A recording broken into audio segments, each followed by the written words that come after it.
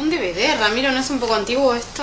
Sí, sí, pero lo encontré, lo vi y me pareció una gran idea para las clases. La vista de la película se llama El baile, de Torres Escola. No. ¿No? Es genial, van contando la historia a través del baile, ¿entendés? Eh, los hechos históricos, las costumbres de la gente, es... Eso igual suena más aburrido que genial.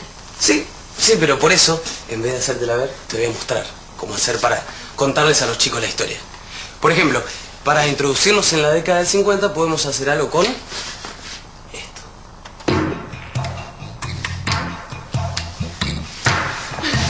A ver, metiéndonos de lleno en la historia, ¿entendés? Podemos hacer que los chicos se diviertan en clase, que sientan lo que vivía la gente en ese momento. Por ejemplo, vendría a ser como un juego. Tendrían que usar el mismo vestuario que usaban en esa época, escuchar eh, la misma música, ver los gustos, empatía. ¿Te gusta la idea? Sí, me gusta. Pero primero tenemos que practicar nosotros.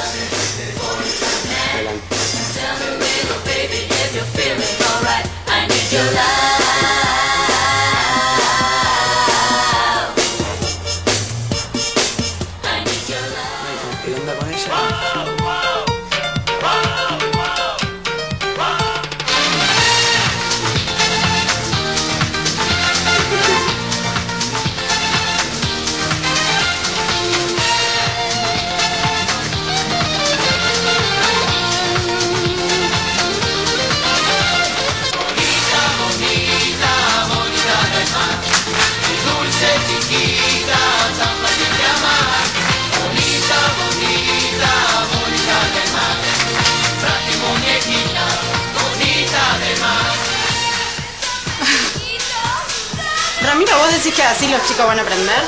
¿Qué? ¿No te parece que estamos aprendiendo nosotros? Es cuestión de liberarse, de dejarse llevar, ¿entendés? Así nació el merengue caribeño. La gente estaba muy angustiada y se largó a bailar. así de fácil. Sí, porque a toda gran depresión viene una explosión de creatividad. Es más, esta época fue donde las mujeres empezaron a liberarse, a entregarse al deseo. ¿No te parece simple? ¿Qué se debe hacer? ¿Intervenir o dejar hacer? ¿Qué? 15-year-old student charged with murder. Open your mind and ears. I got a song that's sort of revolutionary. I wanna take you back to soul clap from the hands of the visionaries. Back when they came together and folks fared on the hopes of broke bread. En tu currículum no decía que bailabas. En mi currículum están las cosas buenas. ¿Y en qué parte? Digo, de la historia. Estamos. En la década del 70, en Estados Unidos. Para mucha gente era muy poco accesible ir a los clubes y discotecas, entonces empezaron a hacer fiestas callejeras. Ahí nació el hip hop. Tenés como una expresión máxima callejera.